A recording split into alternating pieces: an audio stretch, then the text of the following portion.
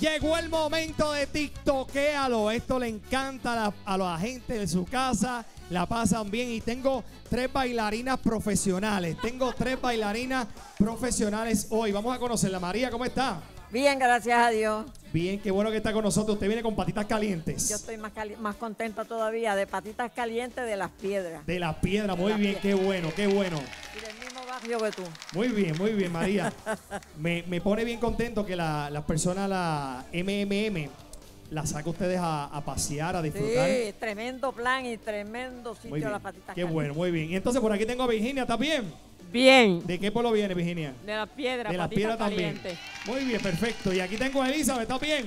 Sí, ¿Cómo estás, mi amor? bien, Elizabeth, ¿de dónde viene? de la piedra. De las piedras. Ah, Pues tengo tres pedreñas aquí. Tengo tres pedreñas. Elizabeth, le dijeron a todas que vamos a bailar, ¿verdad? Muy bien. Bueno, yo tengo para una de ustedes 200 dólares gracias a nuestra buena gente de Clorox. Mira, eres de los que se, se echan para atrás cuando usan cloro por miedo a salpicarte y manchar tu ropa.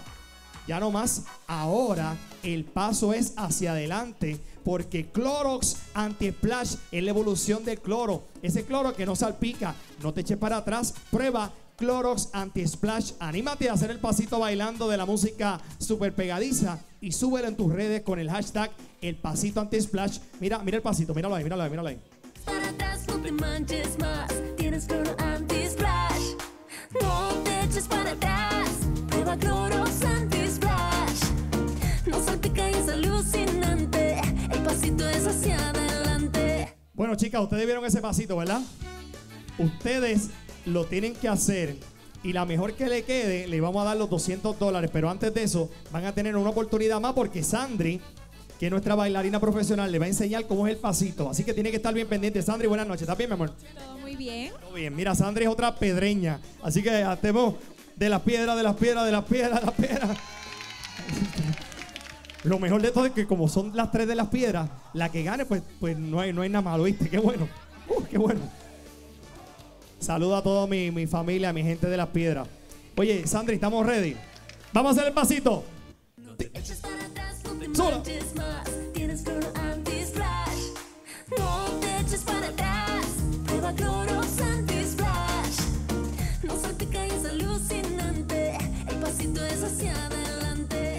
Ahí está. Ya María lo cogió. María, ven para acá. María, ven para acá, mami. Saludo a Pin que está por ahí. Mira, Pin. A tu esposo. Mira, Pin. Mira, Pin. Mira, Pin. Mira, Pin. Atiende el juego. Pin, saludo. Tú sabes, María, ven para acá. Preparada. ¿Cuántos años de casada llevas con Pin? ¿Cuántos años de casado lleva? Un montón. 58 años de casada. Wow. Eso es pin. Muy bien. Bueno, María, nos fuimos. Ya. Ahí está María. Ahí está María. Ahí está María. No te eches para atrás. Colmadito de collores. Clorox anti-splash. No salpica y es alucinante. El pasito es hacia adelante. Ahí está María. Muy bien, eso es. Muy bien, excelente María. Virginia, te toca más. Qué linda tú eres. De las Mira, María, Virginia, ready. Hazlo bien sexy ahí, muévetelo ahí todo lo que te pueda, ¿está bien? Toquéalo, dale. Eches para atrás, no te manches Ahí está, ahí está, ahí está. anti-splash. No te eches para atrás. Ahí está. Prueba. No salpica y es alucinante. El pasito es adelante. El aplauso. Muy bien, Virginia, excelente. Ahora le toca a Elizabeth. Elizabeth, ven para acá. ¿De qué área tú eres, Elizabeth de las Piedras? De Collores, muy bien. Elizabeth, pre- ¿preparada? Nos fuimos, vámonos. No te eches para atrás, no te manches más. Tienes cloro anti-splash. Ahí está Lisa.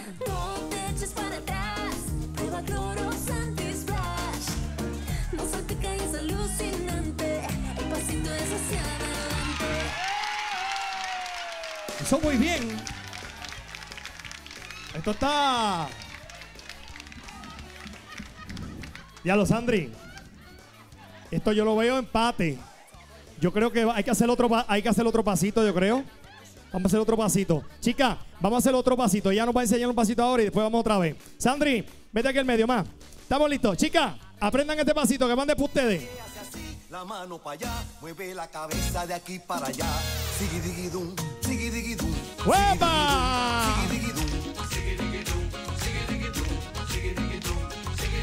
Ok, stop, maestro. Dale de arriba para que te vean otra vez. Dale. Otra vez. El pie hace así, la mano para allá, mueve la cabeza de aquí para allá. Sigidiguidum, sigidiguidum, sigidiguidum, sigidiguidum.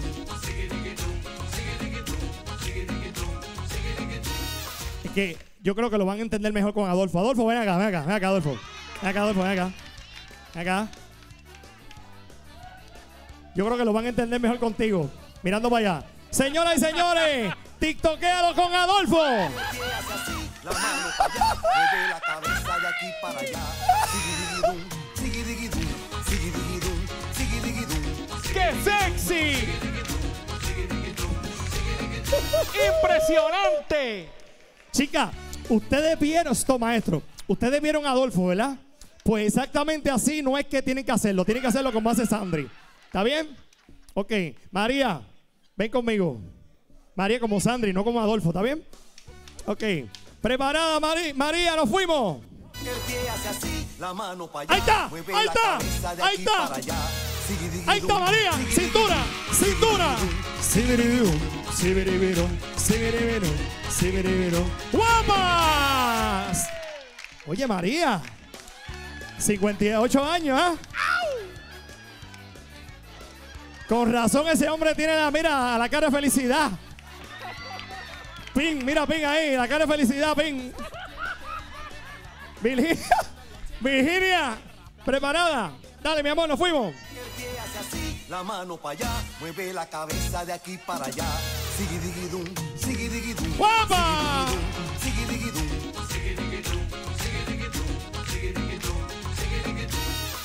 El aplauso para Virginia, muy bien. Elizabeth, ven acá.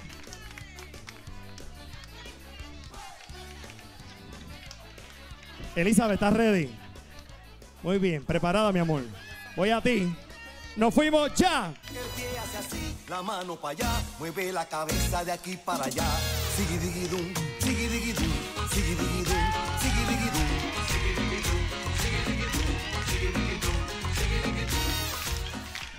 Bueno, Elizabeth, vaya para allá.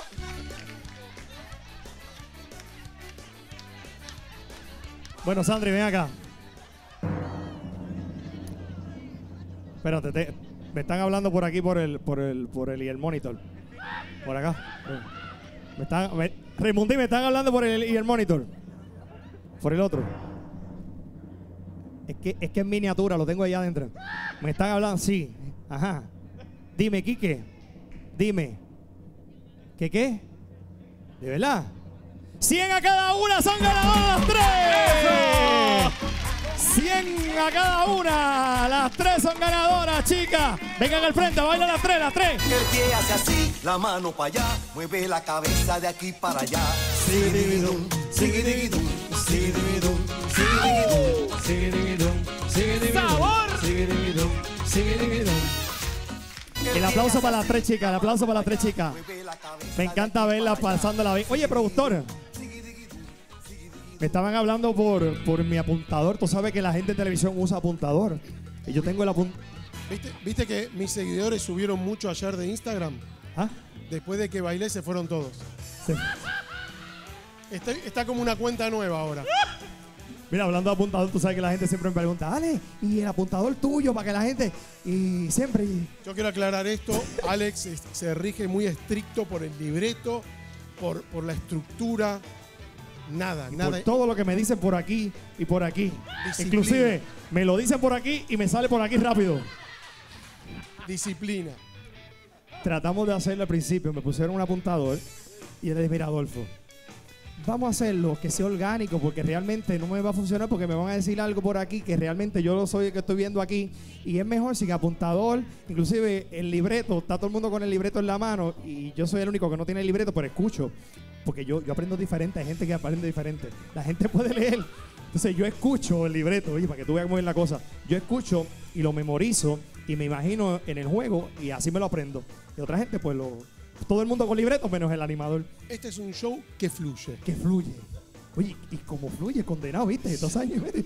Para que, se, pa' que sepa. Así que, y ahora, señoras y señores, ya estamos listos. Nos vamos con el más que sabe, el que tiene su anuncio propio en Telemundo, el turistólogo. ¡Turistólogo! ¡Ah, tú, Kitty! ¿Qué es la que hay? ¿Todo bien, turistólogo? Todo bien, todo bien. Mira, me gusta tu gorro. ¿De dónde lo trajiste? Tú dijiste que era de Indiana Jones De ahorita. Indiana, Indiana Jones. ¿De dónde lo trajiste? Yo lo traje de Argentina. De Argentina. Sí. De las Pampas. De las Pampas de Argentina. De las Pampas. Pero no de, no, no de las Pampas, de Mendoza. De Mendoza. Y la parte más pegadita a Chile. Mira, turistólogo, ¿de qué vamos a hablar hoy? Lo que no es de la historia. ¿De verdad? Sí, señor. De- cuéntame, ¿de qué lo que vamos Pues a mira, eh, yo creo que eh, días como hoy, Ajá. donde se celebran 500 y pico de años del encuentro de América. Del, del Nuevo Mundo, y donde se celebran 500, pero 500 y pico de años del descubrimiento, Sí. y eh, 500 años de la mudanza de Caparra a San Juan. Debemos como que buscarle más profundidad en entender qué es lo que está pasando, porque somos, somos los responsables de que la historia se diga como es. Como es, seguro. Y, Ahora- y, y recordarnos y, los niños que nos están viendo, igual que los Claro, adultos. claro, claro. Y este es un programa que, aunque de novedades, es bien educativo. Claro, aquí apre- la tónica aprendemos todo, pues, apre- eh, aprende el animador.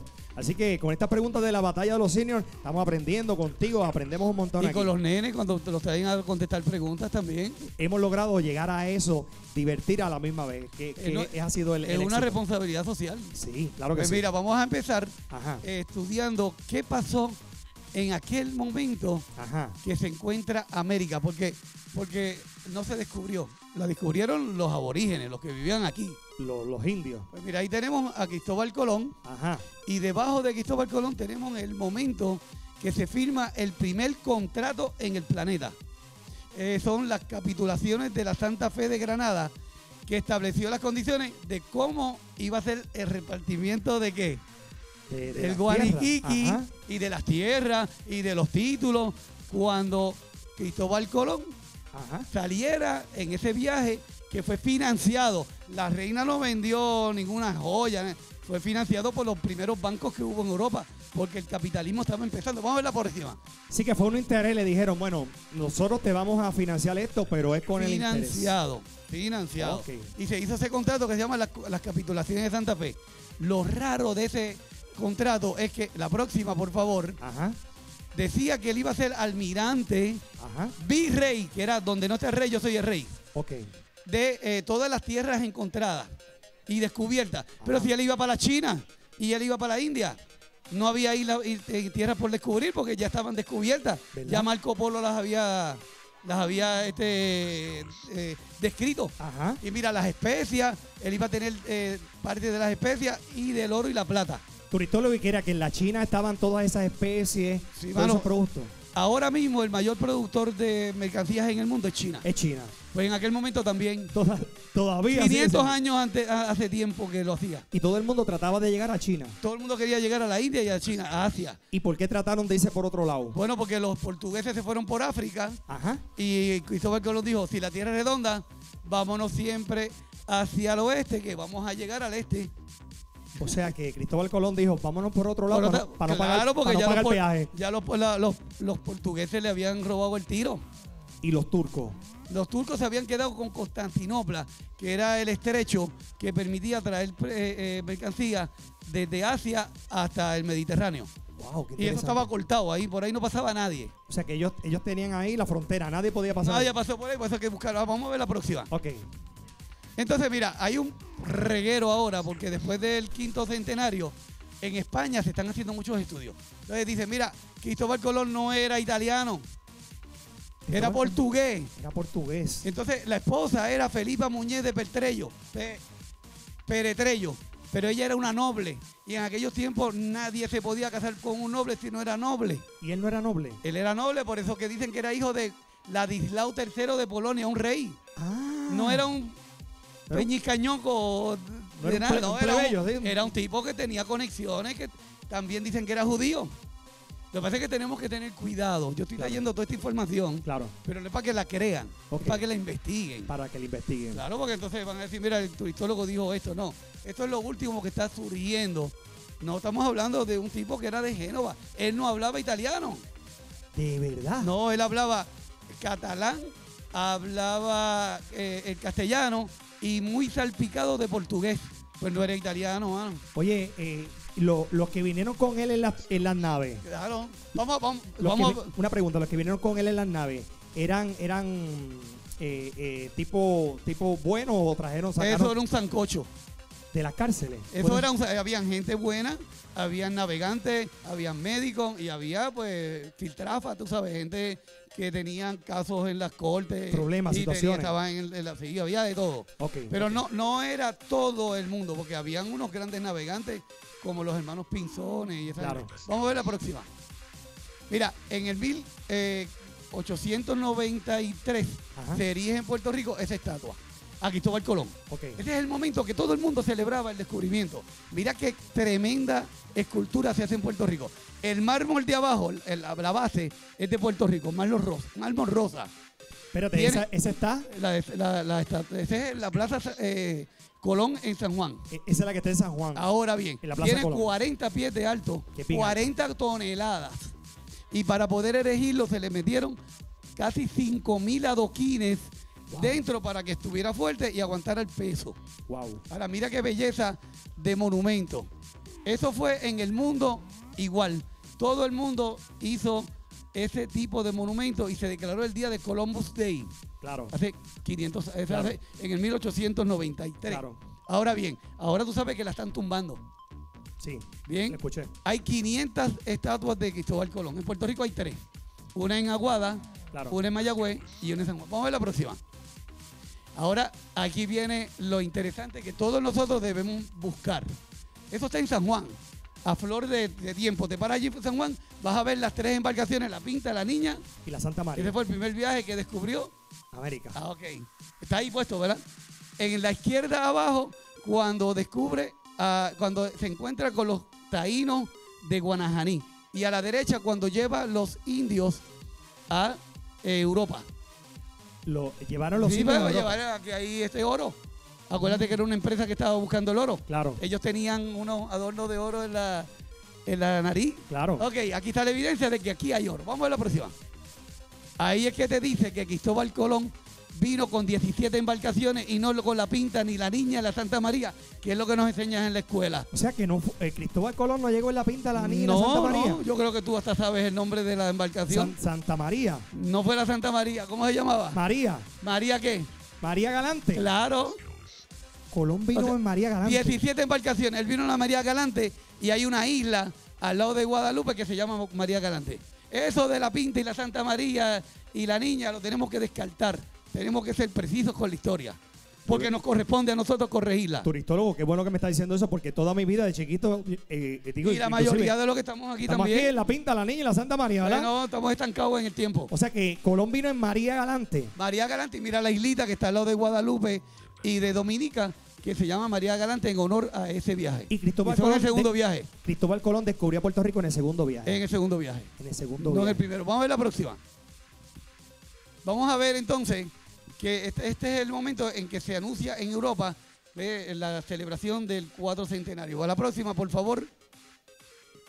Y vamos a ver enseguida, si nos la pasan, que cuando Cristóbal Colón llega en el segundo viaje, Ajá. encuentra que un fortín que él había hecho en República Dominicana Sí. está destruido. Se llamaba el fortín de la Natividad, ¿Quién lo destruyó? los taínos. Enfogonado. Enfogonados porque en el primer viaje se había encallado la Santa María y habían hecho un los, fortín con la los madera. españoles fueron bien malos con los Bien indios. malo. Vamos a ver la próxima. Lo que quiere decir que a Diego de Salcedo no lo ahogaron en el 1510 ¿Y cuándo? para, para saber si eran dioses o no. Eso es un cuento de camino. De verdad. Claro, eso de Diego de Salcedo. ¿Por qué los taínos no esperaron eh, tres días en el 1492 para matar 39 y los de Puerto Rico tenían que esperar tres días para saber si eran dioses o no? Wow, qué Eso es otra patraña, mano. Turistólogo, podemos estar hablando cinco horas de esto. No, ya se acabó el Pero tiempo. ya se acabó el tiempo. ¿Para dónde vamos este weekend? Pues mira, voy a, salgo para eh, Coamo, pero lo más importante es que tenemos unas excursiones para diciembre, diciembre. que pueden escoger, usted puede escoger para dónde van. Nosotros le diseñamos las excursiones, le ponemos los guías turísticos y las guaguas en todo diciembre. Además que estén pendientes a la página de turistólogo. teléfono de turistólogo. Míralas ahí, Míralo ahí. míralas ahí. Dámelo, turistólogo, el número. Ah, sí. Míralo ahí. Aquí. 960-0778. Ahí lo Para- pueden conseguir. Y, y el turistólogo, mire, usted lo llama, cualquier cosa, para dudas, preguntas, llámelo 787-960-0778 y para excursiones, el mejor turistólogo de me comprometo contigo. Ahora en diciembre no, pero ya en enero, febrero vamos a hacer una excursión de Puerto Rico Gana. Sí, señor. Eso está. A tu Kitty. Nosotros vamos a una pausa, vengo ya, este Puerto Rico Gana, súper interesante, turistólogo, wow, nos gustó. Venimos ya.